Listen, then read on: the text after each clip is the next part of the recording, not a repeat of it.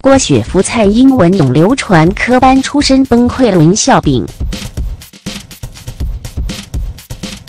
郭雪芙出道一零年，日前在亚太影展现出颁奖处女秀却出糗。她跟严正国同台时拿住得奖名单发愣，向严求救又被推回来，好半天才念出得奖片名 Interchange，明显慌乱。糗事传千里，这段影片很快以郭雪芙不会念英文片名上了中国微博热搜。刚巧他又飞去对岸录优酷节目《火星情报局》，在现场不停被来宾消遣：“你连英文都不会？”他本就脸皮薄，于是懊恼更升一级。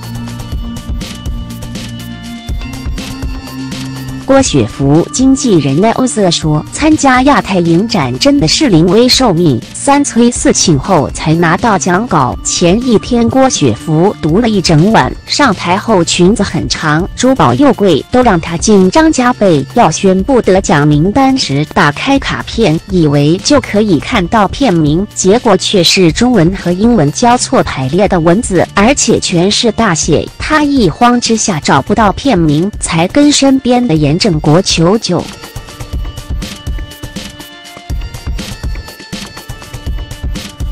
下台后，他快崩溃，觉得怎么会搞得这么扣分？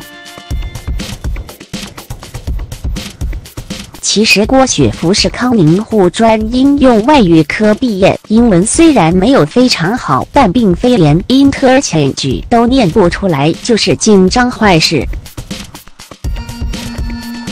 此外，他也被指不想跟姚元浩同走红毯，感觉上像耍大牌。对此，欧瑟澄清，那也是个乌龙。当初亚太影展一确定我们会去，就发布消息说是跟姚元浩一块走红毯，但其实我们要去八大拍戏，所以有拜托对方能否速去速回，就是红毯晚一点，颁奖早一点，时间上集中一点，所以最后才没有跟姚元浩一块走。结果竟然传承不想跟他走。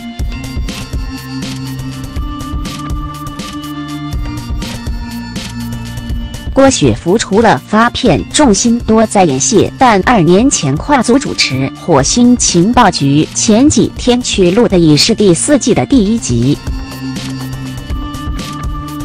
他不善主持，每次要签新一季合约时，跟经纪人 n o z 都要吵个架，想丢出主持棒。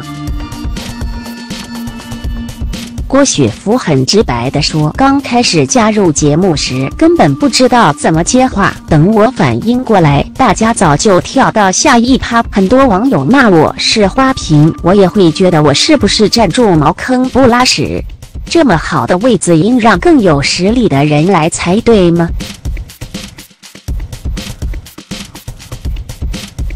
奈欧瑟总想激发郭雪芙的潜力，逼她要挑战、要突破。这回火星情报局主持人汪涵也以前辈身份再次提点：你要更从容。